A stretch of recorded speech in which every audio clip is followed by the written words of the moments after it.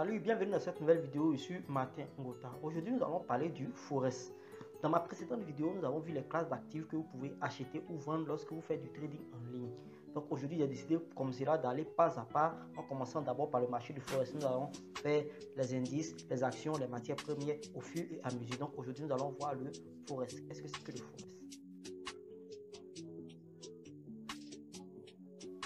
Alors, le forex désigne le marché des changes ou des devises de différents pays opposés les unes aux autres. C'est un marché international décentralisé de gré à gré où les investisseurs échangent les paires de devises à un prix convenu à l'avance.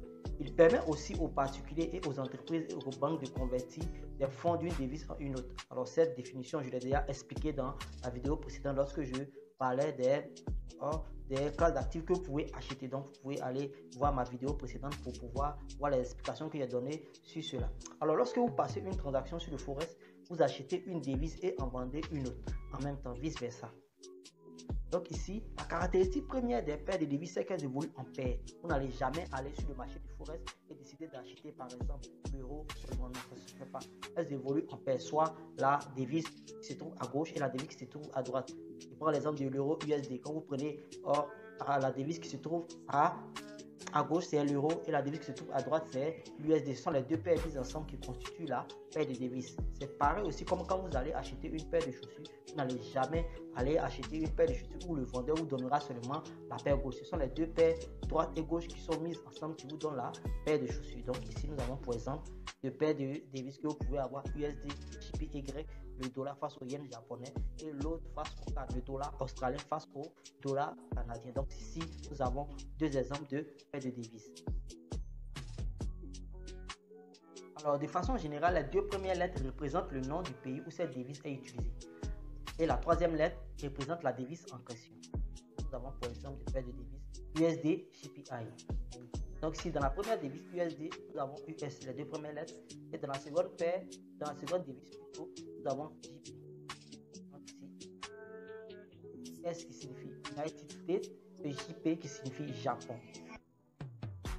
Bien évidemment, les, lettres, les dernières lettres signifieront dollar et yen. Donc ici, nous avons le dollar américain ou dollar US face yen japonais. Ce sont ces deux devises de devises USD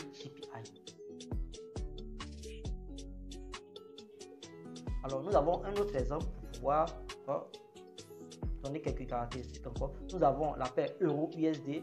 À gauche, nous avons l'euro, la monnaie utilisée dans la zone euro. Et à droite, nous avons le dollar américain. Alors, la devise qui se trouve à gauche, la première devise qui se trouve à gauche est la devise de base. Et la seconde devise qui se trouve à, à droite plutôt est la devise de cotation. Donc nous allons voir. Alors qu'est-ce que la devise de base? La devise de base est généralement la devise la plus liquide. Alors il faut savoir que lorsque vous tradez le forex, il y a ce qu'on appelle la taille du contrat. La taille du contrat est toujours dans la devise de base. Elle représente un certain nombre d'unités monétaires sur le marché du forex. Alors une unité de la devise de base équivaut au prix de la cotation du paire de devises pour la taille du contrat. Nous allons voir ça dans la prochaine vidéo. Je vais expliquer en détail ce que c'est qu'une taille de contrat. Donc ici, nous pour exemple, si, la paire euro-USD plutôt porte à 1,12 350, alors on aura pour 1 euro la valeur en dollars qui sera de 1,12 350. Si vous avez 100 euros, la multiplication, vous aurez la valeur en dollars. Alors la devise de cotation ou devise de contrepartie, c'est la devise dans laquelle la paire est cotée avons, par exemple, appel euro USD qui cote à 1,05 678 le prix de l'offre, qui est le prix bid, et le prix qui se trouve à droite 1,05 688 le prix de la demande, soit le prix AS. Alors, il va vous expliquer dans la prochaine vidéo ce que c'est que le prix bid et le prix AS. Donc ici, nous avons une cotation qui est en dollars. Je vais prendre mon pointeur pour vous montrer pourquoi. Parce que notre devise de contrepartie est le dollar. Donc, ces prix-là sont en dollars.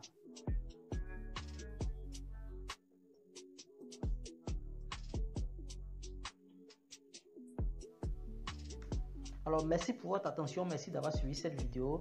Alors, nous sommes à la prochaine vidéo. N'oubliez pas de liker et de vous abonner, ainsi que d'activer la cloche de notification pour ne rater aucune de mes prochaines vidéos. Ciao